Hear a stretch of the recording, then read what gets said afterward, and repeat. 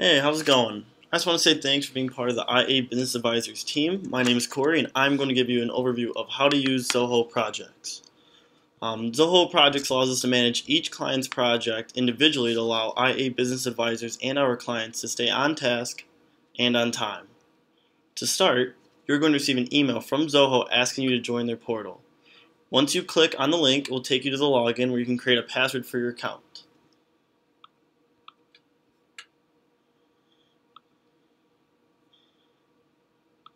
I'm just going to choose a password.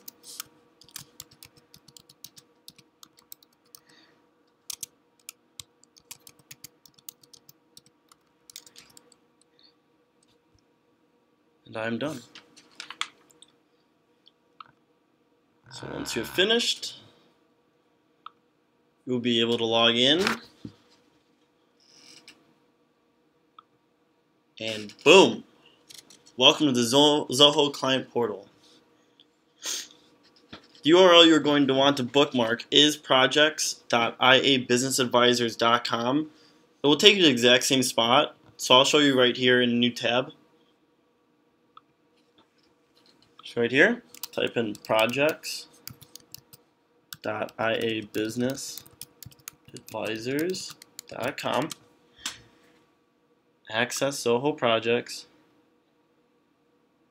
It's going to take you to the exact same place, as you can see.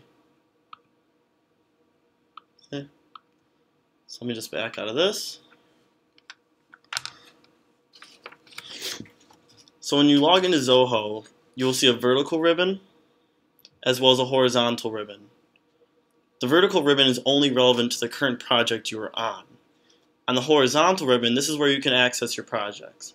So we are on Zoho Client Training. So once you click on your project, you're going to see the feed. The feed is a notification about someone's activity in the project. Think of it more like how you check the latest updates on your Facebook and Instagram accounts. The activities could be anything related to work such as updating a status, a task, a milestone, uploading a document, etc. And I'm going to go further in detail with these later. I just wanted to show you that this is more of like a shortcut. So if you wanted to mention someone in the feed, you want to do it in the same way you do it on Twitter by typing in the at sign and then the person's name. So for instance, I'm going to tell Sierra that I need help developing a website. So type at oh, Sierra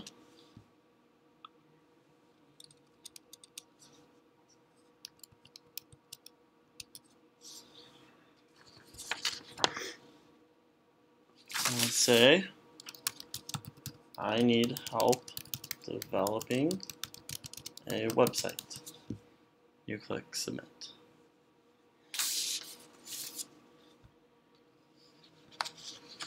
So once you submit it, you'll pop up right here.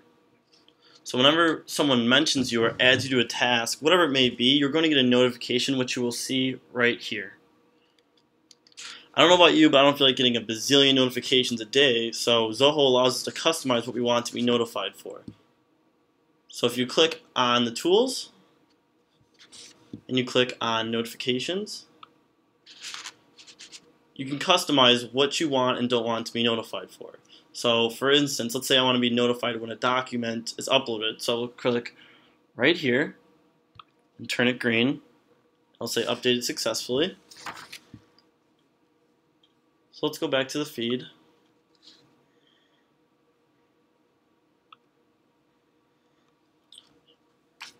Right below feed on the vertical ribbon is tasks, which is right here.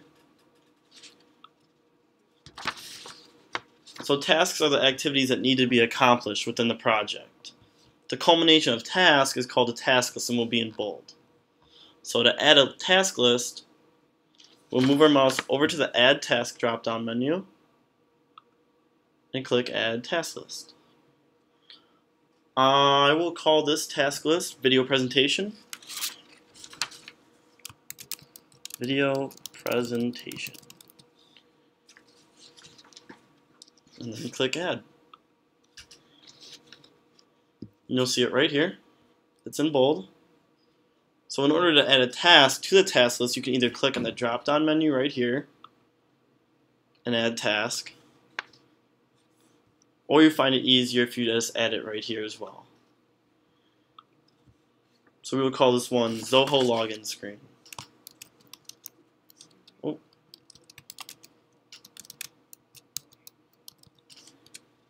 Center, and it'll show up right there. You can select the user as task, so I will add myself, and you can also add other information.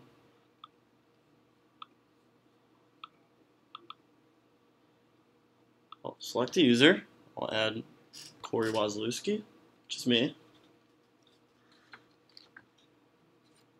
So you can add other information, like I said, due date, priority, make a start date for today's the 26th, we'll have it due about 6 o'clock today, just to show you how it works. So if you scroll down to the bottom, you will see a ribbon with comments, subtasks, documents, forums, etc. Just like the feed, you can mention someone or upload a file, but instead this will be linked to the task. So I will mention Sierra this time and ask if she can help me with logo design. So I'll say, at Sierra, I need help with logo design. You'll add the comment.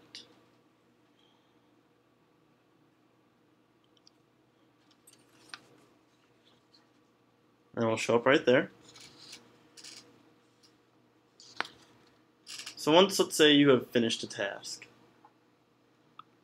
and you're done with it, for instance, we've already gone to the login screen, so I will click on this. I'll click close because we have finished this task. The task will disappear once we refresh it.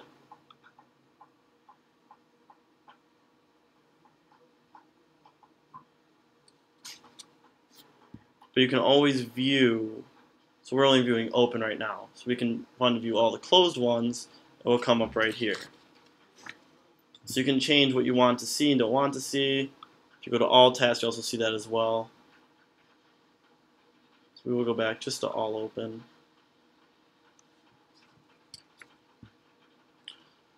So in terms of views, actually I will go back to all tasks. In terms of views, um, this is the classic one. This shows the task list and tasks below it. There is plain, which is similar to classic, except everything is more smushed together. And finally, there's Kanban, which is unique because it allows you to move around the tasks easier. Move it like this.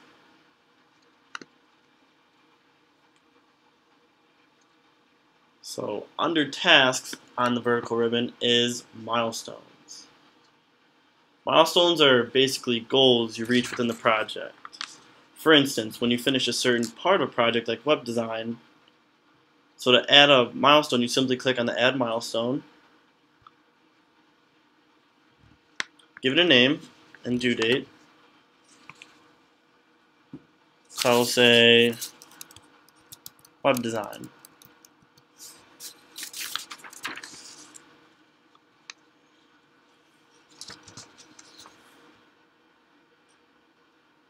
And once you have done, once you're done making the milestone, you can link that to a task list. So right here, say add task list.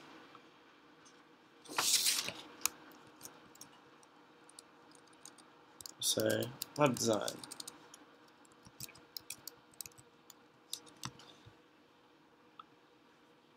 There we go.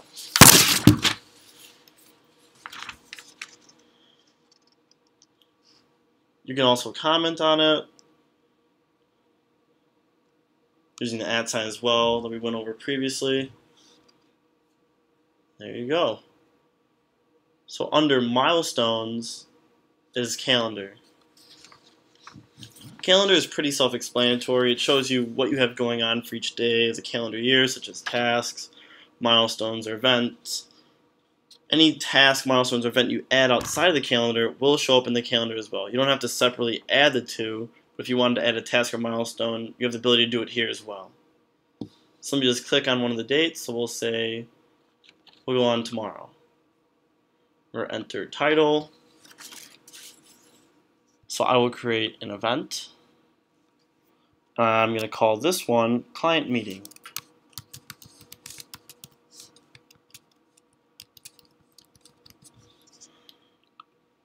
I will select myself. We'll schedule it at or duration an hour. Can remind, and we'll save. So that's going to show up in purple since it's a event.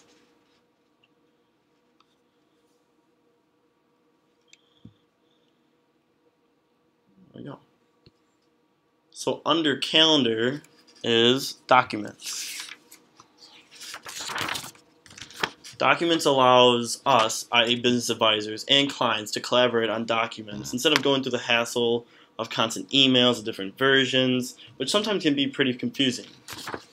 So to create a new document, you simply move over to New on the drop-down menu. And on the drop-down menu, you will be able to create either a document, a spreadsheet, or a presentation. You can also upload files from your computer or a cloud in this menu. So we will create a spreadsheet. And let's call this one Client Finances.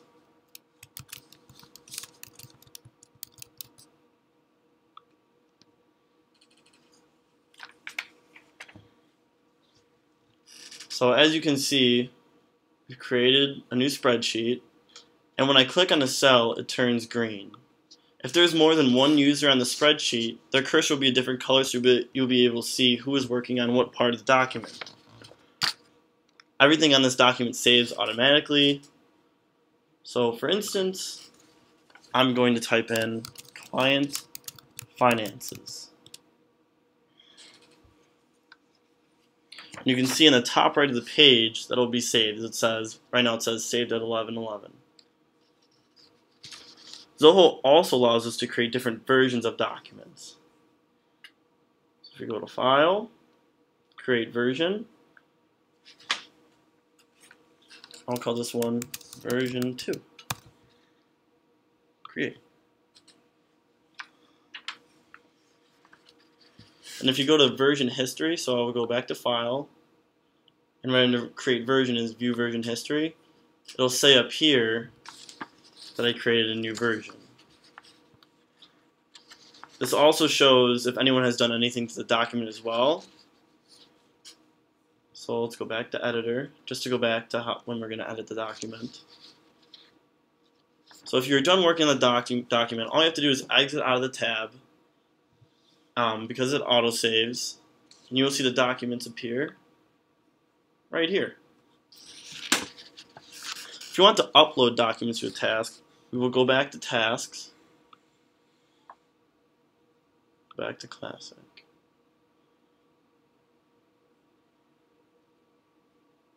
So we'll create a new task list, say client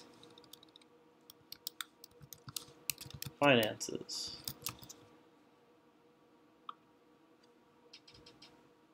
We'll add a task, finance spreadsheet.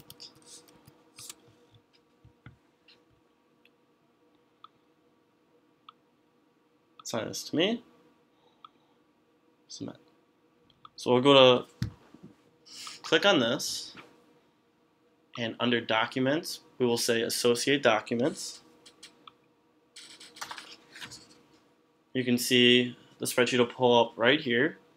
So I have to do is check that and attach, you'll see it pop up in that task. So let's back out of this. So right under Documents, you'll see Forums. Forums allows us to post topics, discuss ideas, and help capture knowledge in one place. So to add a forum, we simply click on the Add Forum. We will create a title. I'll call this one social media. Questions?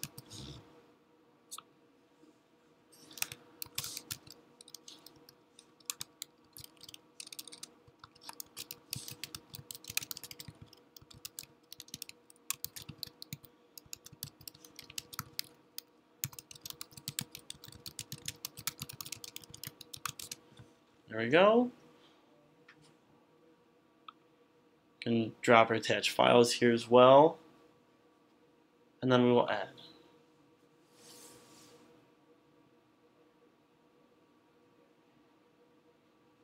And there you have it. So I'll post a comment.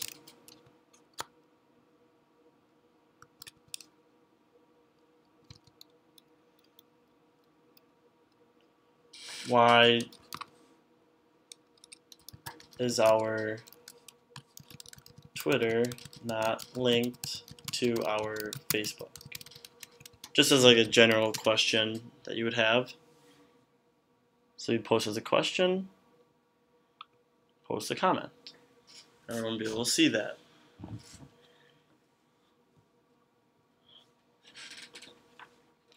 So let's go back here. You'll see right there as well. Say that I asked a question at 11:15. So that is it. This wraps up our Zoho client training. I hope this video was helpful and thanks again for being part of the IA Business Advisors team. Have a good one.